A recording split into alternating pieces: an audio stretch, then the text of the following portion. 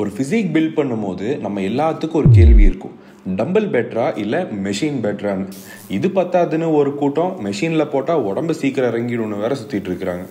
ஒரு எக்ஸசைஸை நீங்கள் டம்பிளில் பண்ணுறீங்களோ இல்லை மெஷினில் பண்ணுறீங்களோ நீங்கள் எந்த மசிலை டார்கெட் பண்ணி பண்ணுறீங்களோ அந்த மசில் மேலே லோடு கரெக்டாக விழுதாங்கிறது தான் ரொம்பவே இம்பார்ட்டன்ட் ஆனால் இதை எப்படி கண்டுபிடிக்கிறது? ஃபர்ஸ்ட் நீங்கள் ஒரு எக்ஸசைஸை டம்பிளில் பண்ணுறீங்கன்னு வச்சுக்கோங்க. அந்த எக்ஸசைஸை அட்லீஸ்ட் ஒரு ஆறு ஏழு வாரத்துக்கு கண்டினியூஸாக பண்ணிடுங்க. அதுக்கப்புறமும் உங்களுக்கு அந்த மசிலை ப்ராப்பராக ஃபீல் பண்ண முடியலன்னா அதே மசிலை டார்கெட் பண்ணுற மாதிரி ஒரு ஆல்டர்னேட்டிவாக மெஷினில் சேம் எக்ஸசைஸை நீங்கள் ட்ரை பண்ணி பாருங்கள் நான் முக்கால்வாசி டைம் சைட் லேட்டரல் ரைசஸ் டம்பிளில் தான் பண்ணியிருக்கிறேன். அப்புறம் எங்கள் ஜிம்மில் ஒரு நாளைக்கு சைட் லேட்டரலுக்குன்னு தனி ஒரு மிஷின் இருந்துச்சு. அதை ஒரு நாளைக்கு ட்ரை பண்ணி பார்த்தப்ப தான் எனக்கு தெரிஞ்சிச்சு. என்னால் மசிலை இன்னும் நல்லா ஃபீல் பண்ண முடியுதுன்னு சொல்லி. அன்னையிலேருந்து நான் இந்த மெஷினில் தான் சைட் லேட்டரல் ரீசஸ் பண்ணிட்டு இருக்கிறேன். எக்ஸசைஸை பொறுத்த வரைக்கும் எல்லா எக்ஸசைஸும் எல்லாத்துக்குமே ஒர்க் அவுட் ஆனோன்னு அவசியமே கிடையாது. சில எக்ஸசைஸ் உங்களுக்கு எது பெட்டர்னு தோணுதோ அதை தான் நீங்கள் பிக் பண்ணி பண்ணணும்.